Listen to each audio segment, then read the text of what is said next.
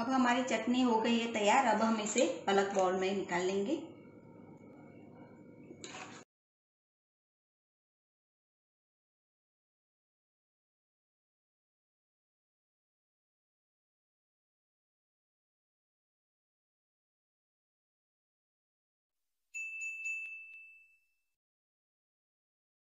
स्वागत है आप सबका मेरे चैनल पर।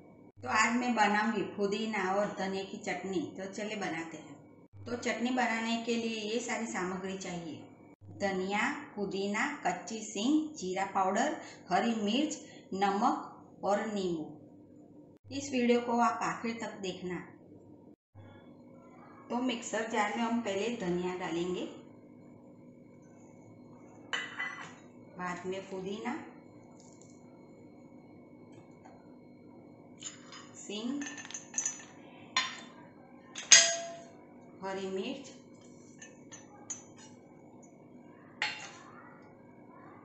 जीरा पाउडर नमक और आखिर में नींबू का रस।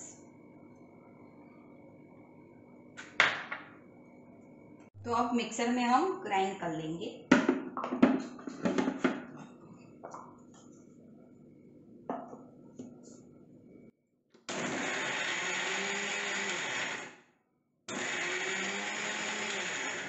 एक बार घुमा लेने के बाद इसमें थोड़ा सा पानी डाल दीजिए।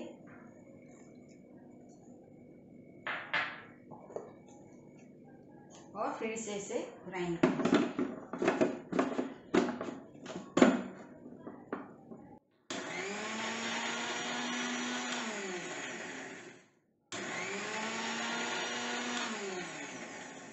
अब हमारी धनी की चटनी हो गई है तैयार। आप इसे पराठा या समोसे के साथ खा सकते हो। अगर आपको मेरी रेसिपी पसंद आई हो तो लाइक और शेयर करना और चैनल को सब्सक्राइब ज़रूर करना।